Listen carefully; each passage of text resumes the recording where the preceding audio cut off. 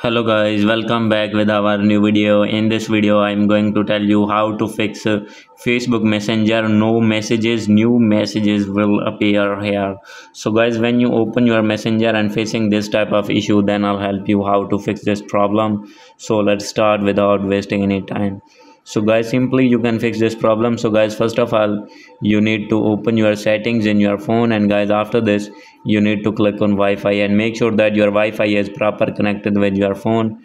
And guys if not connected then you need to click on wi-fi and uh, uh, connect to your wi-fi. And guys after this if do not have wi-fi then you need to open your mobile data. And after this you need to scroll it down. Click on general. And guys after this you need to scroll it down and here is the option of iphone storage. Simply you need to click on it. And guys here you need to find messenger. And uh, uh, you need to find here your facebook messenger. So guys simply you need to click on show all.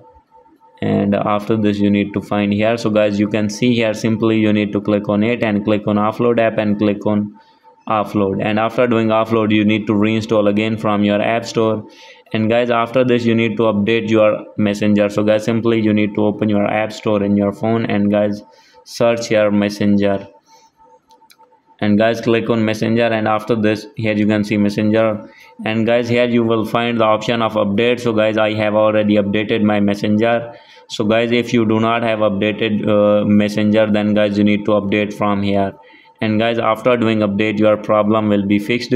So guys if still not fixed your problem then guys simply you need to open your settings again. And guys after this you need to click on general. And guys click on date and time.